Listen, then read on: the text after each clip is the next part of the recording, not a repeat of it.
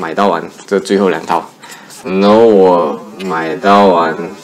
嗨，我是俊贤，也有人叫我雷森，我是位集邮爱好者。集邮呢，这个爱好其实已经慢慢被时代淘汰了。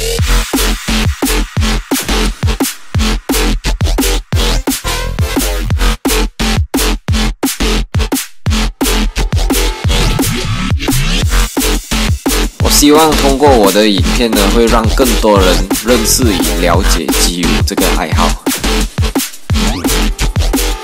欢迎来到我的机油之旅。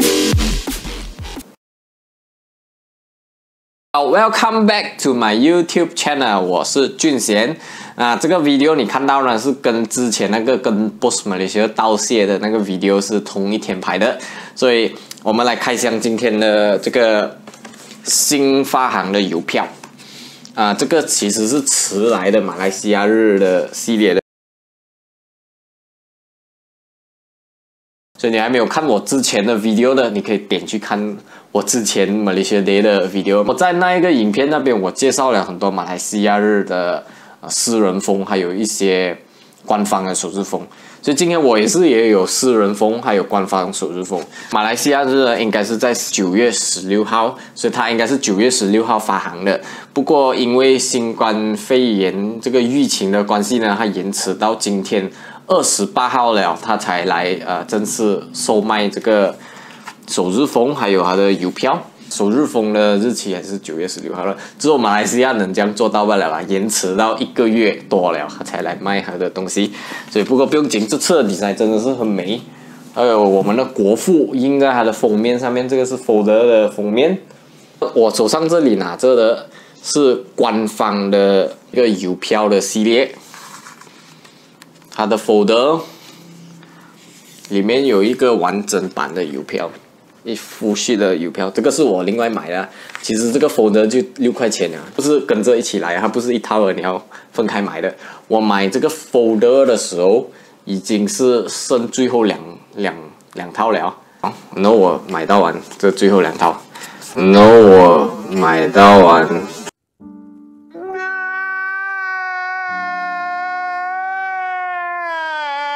是啊，邮票应该还有啦啊。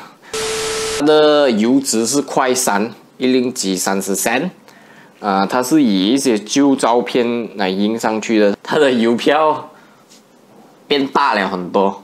我们发现它邮票大了很多，手感非常好，而且它是写点的，一整排的一整套呢就在一排上面，所以你要撕来做你这个首日封的话，你只要撕掉一整排，不需要像每次我们这样一张一张这样撕啊，一张一张贴。整排就是一整套完整的邮票了，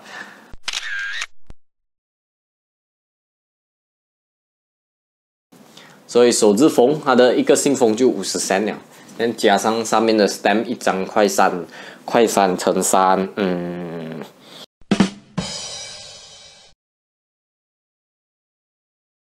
，postage 邮费涨价了，它的邮票当然也要涨价，所以只能这样了咯，要买贵的邮票了哦。没办法，来我们看私人风的时候了啊，当然有做私人风的啦，哈，这样才是我的作风嘛。这个比它的 official 的 envelope 大一点，它是那个我们平常用来寄信的 envelope，然后它印上这个国父一个 m a d i g a 的。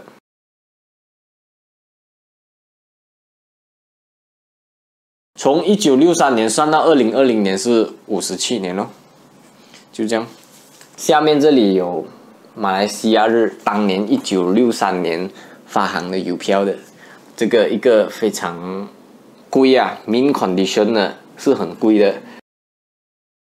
这个主人很心痛的，他直接贴上去啊，再去做做一个纪比较有纪念的私人封啦。历史书上能看得到的，但是这是一个简短的例子，印在这个私人封上面。Finally。这里也是一个印有马来西亚日的历史的一个简短的介绍啦。不过这个是以 timeline 的方式来介绍，它五月二十七，一九六一年的故事开始讲到，呃，九月十六号，一九六三年的，它是一个 timeline 的方式来讲。血本了下了本钱了，他把那些很，他把这个一九六三年发行的这个邮票，而且是全新的 mint condition 的，贴在一个这个二零二零年的信封上面，再拿去盖印。其实这个也不便宜啊，如果你要买 mint condition 在 online 上面买的话，的确不便宜。这个旧的，这个已经有五十七年历史的邮票了啊，它保存了五十七年，还保存到这样美，还可以卖了不少价钱呢。它拿来贴在一个信封上面，然后再跟一些全新的邮票再去做首日封啊。Hello，其实我是在 edit video 一半了的，那我没有想到讲，刚好这个八十二也送进来了。呃，是一个私人封来的，我过后再买来的，它比较大一点的 size，所以这个系列里面我买到最大的一个 size 就是这里啊。这个是二零一三年的邮票，加上这二零二零年的邮票，这个是比较大的一个私人风来的，所以这应该是我买到最大的私人风了，很久没有看到这样大的私人风了。嗯我收回昨天我讲的 statement 呐。我讲昨天那个是最大风嘛，结果今天我又再拿到一个，刚刚拿到不了更加大的，它是半个 A4 size 的 private cover 的，呃，所以讲话不要说太满了，啊，应该没有最大，只有更大。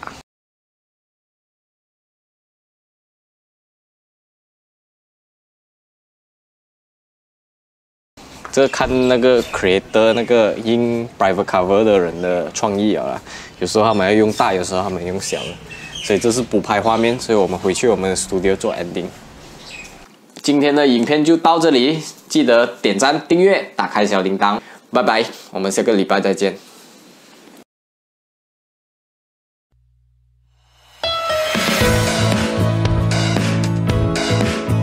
个东古阿布拉曼二零一三年的邮票，其实刚才之前的那个 private cover 也是有东古阿布拉曼这个邮票啦，这是五十年哦，Malaysia。感谢感谢 Boss 们，跟 Boss 买了一些刀。